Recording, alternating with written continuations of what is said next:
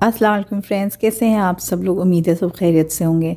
आज शेयर करें मैं आपके साथ बिना प्याज, बिना टमाटर के बहुत ही मज़ेदार चटपटे से मसाले वाले आलू की रेसिपी वीडियो को एंड तक ज़रूर देखिएगा मुझे उम्मीद है आपको ज़रूर पसंद आएगी। वीडियो रेसिपी पसंद आए तो प्लीज़ इसको लाइक और शेयर ज़रूर कीजिएगा और चैनल को सब्सक्राइब ज़रूर कर दीजिएगा। तो रेसिपी स्टार्ट करते हैं। तो यहाँ पे मैंने पाँच आलू ले लिए हैं। मीडियम टू लार्ज साइज़ के आलू हैं। और वज़न में आपको बताऊँ तो ये तकरीबन 700 ग्राम के करीब आलू थे ये। आलू को मैंने ना पहले उबाल लिया था। और उबालने के बाद मैंने इसको थोड़ी देख लिए फ्रिज में रख दिया था, तकरीबन आधे घंटे के लिए, ताकि ये जल्दी ठंडे भी हो जाएँगे। और आलूओं का जो है इस तरीके से स्टार्च थोड़ा कम हो जाता है। तो ये सारे आलू मैंने छील लिए हैं। तो अब इसको हम कट कर लेंगे। तो जितना बड़ा आपको आलू चाहिए सब्ज़ी में, उस हिसाब से आप इसकी पीसेस कट कर लीजिए। मैंने ये छोटे छोटे पीसेस में इसको कट कर लिया है। तो ये सारे आलू कट के तैयार हो चुके हैं तो अब फटाफट से सब्ज़ी बना लेंगे। आलू कट गए हैं, आलू उबल गए हैं तो ये रेसिपी जो है ना आपकी पाँच से सात मिनट में बन के तैयार हो जाएगी। तो ये रेसिपी परफेक्ट है। अगर आप इसको सुबह में लंच के लिए या बच्चों के टिफ़िन में देना चाहते तो आप रात में आलू उबाल के फ्रिज में रख दीजिए और सुबह पाँच से सात मिनट में सब्ज़ी रेडी कर लीजिए। तो यहाँ पे मैंने कढ़ाई में डाला है सरसों का तेल, तकरीबन दो से तीन टेबल आप नॉर्मल रिफाइंड ऑयल भी यूज़ कर सकते हैं। और जब तेल अच्छे से गर्म हो गया तो मैंने फ्लेम को लो कर दिया, इसमें डाला आधा चम्मच सफ़ेद ज़ीरा और इसमें मैंने दो चुटकी करीब हींग डाल दी है।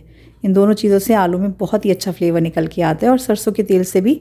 तो बस मैंने इसको कुछ सेकंड के लिए ज़ीरे को और हींग को फ्राई किया और अब इसमें हम डाल देंगे आलू। आलू को जो है ना, पहले हम तेल में थोड़ा सा फ्राई कर लेंगे। इससे जो है ना, आलू के ऊपर क्रिस्पी सी एक कोटिंग भी आ जाएगी और आलू का फ्लेवर जो है ना, तलने से बहुत अच्छा आ जाता है। तो मीडियम फ्लेम पे आलू को मैंने अच्छे से फ्राई कर लिया। ये देखिए, इस तरीके से हल्का सा इसका कलर चेंज हो गया है। अब डालेंगे इसमें फ्लेवर के हिसाब से नमक।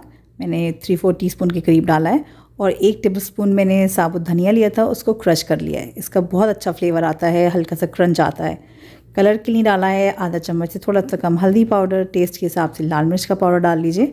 और इन मसालों को भी आलू के साथ मीडियम फ्लेम पे इसी तरीके से फ्राई करते रहेंगे। जैसे मैंने कहा, बहुत ही झटपट रेसिपी बन जाती है। हल्की आँच करने की ज़रूरत नहीं है, क्योंकि आलू उबले हुए हैं, हमने सिर्फ़ मसाले को भूनना है। मैंने ये आधा चम्मच के करीब कुटी हुई जो है ना फ्रेश अदरक ले ली है और आधा चम्मच के करीब मैंने इसमें हरी मिर्च का पेस्ट डाला है। अगर बच्चे नहीं खा रहे हैं तो आप इसको काट के भी डाल सकते हैं। मैं थोड़ा सा हरी मिर्च को पेस्ट बना के ही यूज़ करना ज़्यादा पसंद करती हूँ। बच्चों को मसला नहीं होता है। तो अदरक को और हरी मिर्च को मीडियम फ्लेम पे ही आलू के साथ दो से तीन मिनट और इसको फ्राई कर लेंगे। ये देखें अच्छे से जो है सारी चीज़ें भुन चुकी हैं, फ्राई हो चुकी हैं। तो दो तीन चीज़ें और बाकी हैं बस। अब मैं इसमें डाल रही हूँ आधा चम्मच खटाई का पाउडर। अगर आप खटाई का पाउडर नहीं यूज़ करना चाहते तो इसमें आप आधा नींबू भी उसका रस जो है ना निचोड़ के इसमें डाल दीजिए। थोड़ा सा खुशबू के लिए वन फोर टी स्पून के करीब इसमें डाला है मैंने गर्म मसाला पाउडर। साथ में डाला है वन टीस्पून से थोड़ा सा कम कसूरी मेथी का पाउडर। और डाला है इसमें मैंने ये पुदीने की पत्तियाँ। अगर आपके पास ये सूखी पुदीने की पत्तियाँ नहीं हैं तो आप इसमें फ्रेश भी काट के डाल सकते हैं और अगर पुदीना नहीं पसंद है तो आप इसको कम्प्लीटली अवॉइड कर सकते हैं। मगर इसका पुदीने का टेस्ट बहुत अच्छा आता है आलू के साथ। इन सारी चीज़ों को हल्के हाथ से हम मिक्स कर लेंगे और लो फ्लेम पे इसको हम ढक के पका लेंगे दो से तीन मिनट के लिए ताकि सारी खुशबुएँ फ्लेवर्स आलू में अच्छे से रच बस जाएँ। और ये देखिए, मज़ेदार से मसालेदार चटपटे से आलू की सब्ज़ी बन के तैयार हो चुकी है। बस इसको मैंने गार्निश कर दिया थोड़े हरे धनिए की फ्रेश पत्तियों के साथ। इससे जो है इसका मज़ा जो है ना बहुत ही आला हो जाता है। तो हरा धनिया डाल के मैंने इसको मिक्स किया। तो चलिए इसको अब डिश आउट कर लेते हैं। तो बन गए ना झटपट से पाँच से सात मिनट के अंदर आपकी मज़ेदार सी सब्ज़ी। इसको टिफ़िन में, लंच बॉक्स में पैक कीजिए, पराठों के साथ इंजॉय कीजिए पूरियों के साथ इंजॉय कीजिए, बहुत ही फिंगर लिकिंग बन के तैयार होते हैं।